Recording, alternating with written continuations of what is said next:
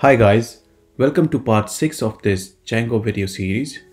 And in this video I'm actually going to talk about the Django static files like CSS files, JavaScript files or images.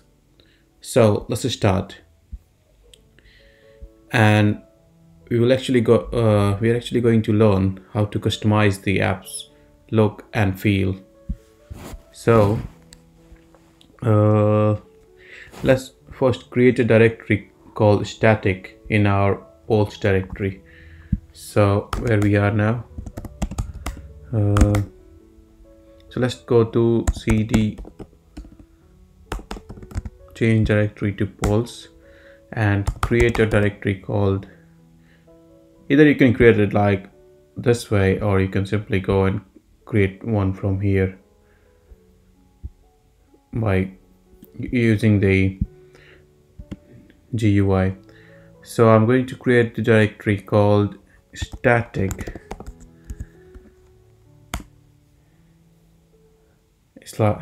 and Django static files finders settings.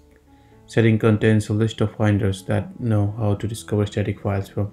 So we are actually going to uh, create another folder inside the static folder called polls so it's same like uh, templates actually that's how we were namespacing it so that it doesn't conflict with any other any other folder. So even though we were inside the polls we still created another folder called polls inside the templates though we could have got away without creating another one but it will create conflict when we have too many or multiple applications in the same project.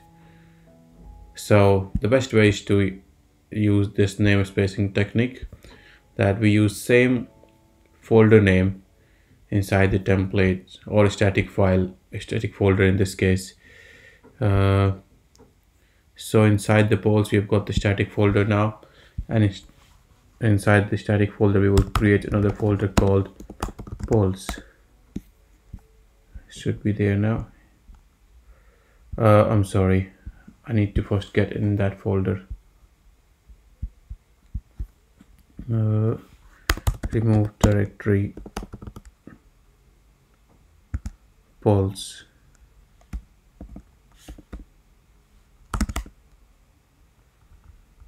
uh, yeah.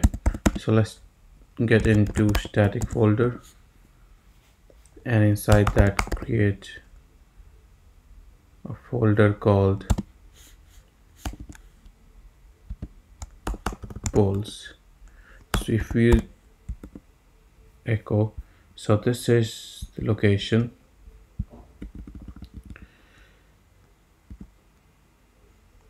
Cd polls there's nothing in it so now we've got this polls folder inside the static folder. So let's put the following in the polls style.css so I'm going to create another file called style.css inside the polls folder. So let's do this dot style.css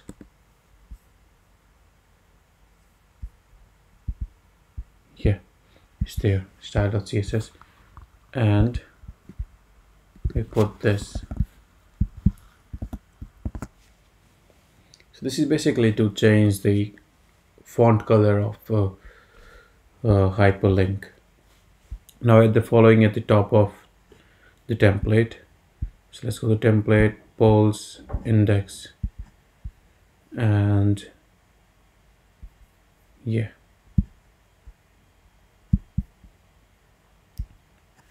so we have added this.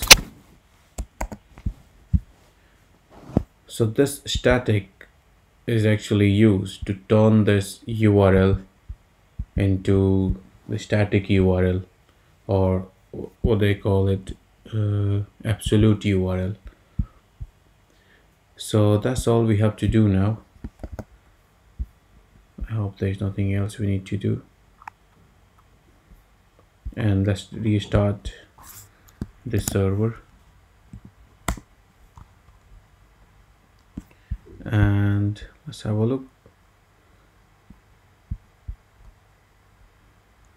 I'm going to polls again. And we do have that font now. If we change it to something else let's do it like uh, something like background background color is equal to this is black. Yeah. So it's now it's taking without um, restarting it. I think it probably needed to needed a restart because um, it really needs to go through all those folders again and find that file. Okay so we'll uh, put it to green again. Now adding a background image. It's same like that actually that uh,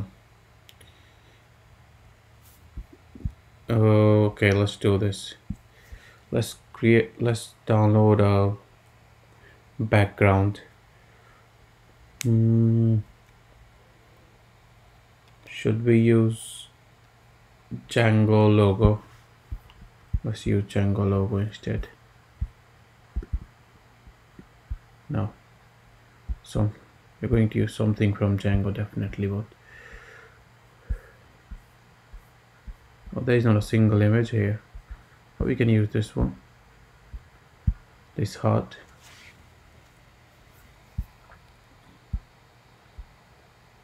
and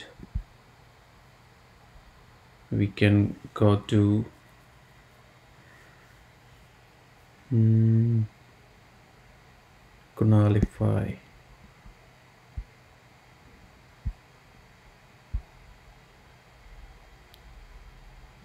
Django Kunalify. Django Kunalify my site polls static uh, polls maybe we will do create another folder here called images. And save it here. Oh it's svg so we can say heart.svg so now what we have to do is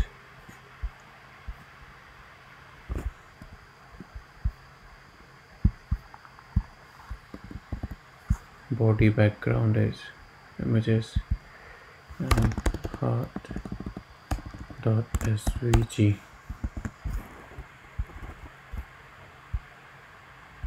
yeah we got that. So that's how we will actually load images in the um, in Django